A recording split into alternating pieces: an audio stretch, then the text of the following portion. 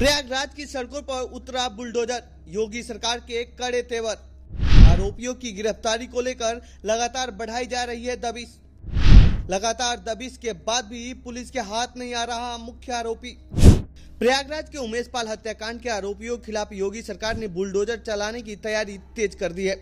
इस हत्याकांड के मुख्य आरोपी और पूर्व सांसद अतिक अहमद के करीबियों पर बुलडोजर चलाने के लिए प्रयागराज विकास प्राधिकरण की टीम बुलडोजर लेकर मौके पर पहुँच गई है।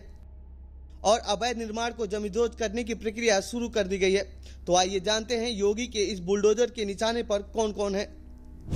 प्रयागराज के इस कांड के बाद यूपी विधानसभा में अखिलेश और योगी के बीच काफ़ी गर्मा गर्म बहस देखने को मिला था, जिसमें सीएम योगी ने कहा था कि इस हत्याकांड के आरोपियों को हम मिट्टी में मिला देंगे। कि जिस अतीक अहमद के खिलाफ पीड़ित परिवारों ने मुकदमा दर्ज कराया उसके परिवार के खिलाफ, वो समाजवादी पार्टी के द्वारा पोषित माफिया है और उसकी कमर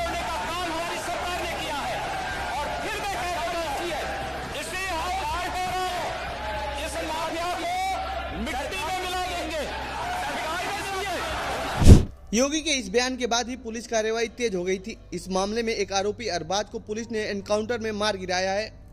बाकी आरोपी अब भी पुलिस की गिरफ्त से बाहर हैं। एक अन्य आरोपी की गिरफ्तारी हुई है। उमेश पाल मर्डर के मुख्य आरोपी पूर्व सांसद और बाहुबली अतिक अहमद के बेटे असद अहमद की गिरफ्तारी के लिए पुलिस दबिश बढ़ाए हुए है।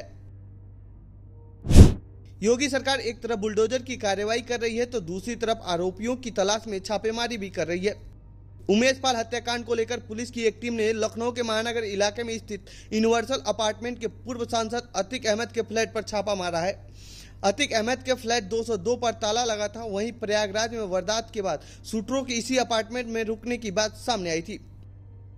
पुलिस ने इस दौरान पार्किंग में खड़ी अतिक अहमद की लैंड क्रूजर और मर्सिडीज गाड़ियों को कब्जे में ले लिया है। प्रयागराज में उमेश पाल की हत्या का मुख्य आरोपी असद अहमद है, जिसे एसटीएफ तलाश कर रही है। पुलिस असद के परिचितों और मददगारों की कुंडली खंगाल रही है।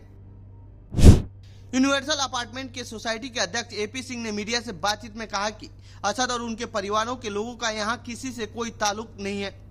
उनके फ्लैट के ड्यूज भी बाकी हैं, लेकिन यहाँ उनका आना जाना कम था। उन्होंने बताया कि रविवार यानी 26 फरवरी को देर रात यूपी एसटीएफ की टीम अपार्टमेंट में पहुँची थी।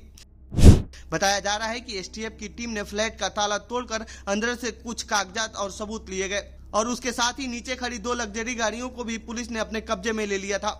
आरोपियों की तलाश में लखनऊ से लेकर प्रयागराज तक छापेमारी जारी है। इसके साथ ही आरोपियों के अवैध निर्माण पर बुलडोजर चलना भी शुरू हो गया है। तो ये थी अतिक अहमद से जुड़ी हमारी रिपोर्ट। आपको कैसी लगी यह रिपोर्ट? कमेंट बॉक्स में बताएँ। साथ ही इस पूरे मामले पर आप क्या कहना चाहते हैं, कमेंट बॉक्स में लिखें। बाकी दे दुनिया खबरों के लिए बने रहे जनसत्ता के साथ। धन्यवाद।